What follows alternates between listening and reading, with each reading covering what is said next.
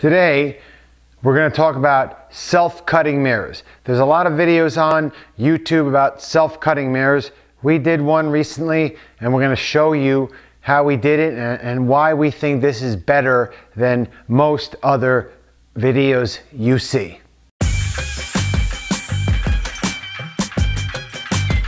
Hey there, NJ22.com here with a quick alternate, alternative way to make a self-cutting mirror. I'm gonna show you the back of the mirror because you know, I don't wanna deal with reflection stuff. But most of the YouTube videos you've seen are copycats of each other. They take a, they take three of these, these two mirrors on the outside here are cheapo Walmart mirrors. They're 16 by 16 inches and they are like six bucks a piece.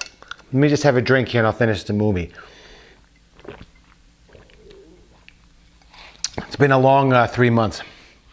Anyway, I decided, and what they did was they took tiny little hinges and put one folding in and then they took a T hinge and they bent it and they fold, they folded the two mirrors on top of each other. I did it opposite. I bought two Walmart mirrors for six bucks and I got a I went on overstock.com and got a, what do you call it? A 16 by 20 mirror. The mirror inside is 16 by 20, but the frame is substantially bigger. And it allowed me to use door hinges, which I already had in stock here at home. And instead of folding them inward, I did it opposite. I put two hinges on the back and two hinges on the front.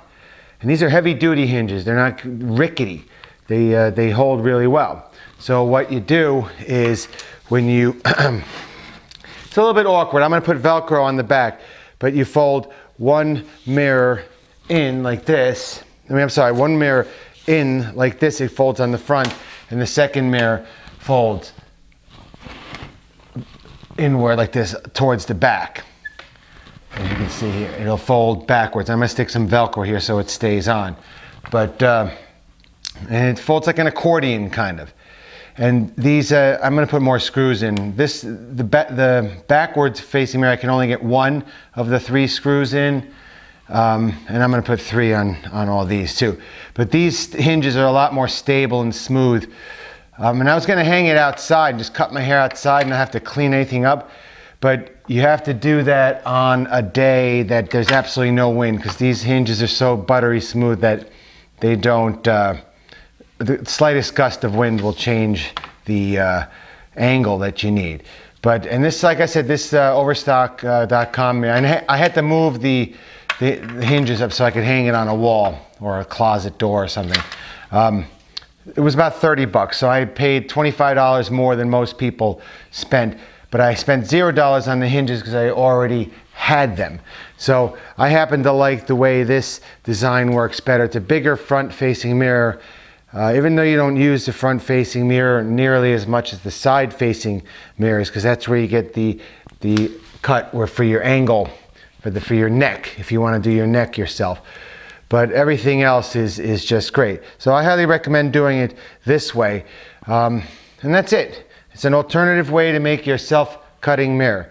This is more of a technical thing than a, uh, I'm not going to show you cutting my own hair, even though I did a video or a story a few weeks ago about my girlfriend completely botching my uh, my hair. I look like a like like a retard.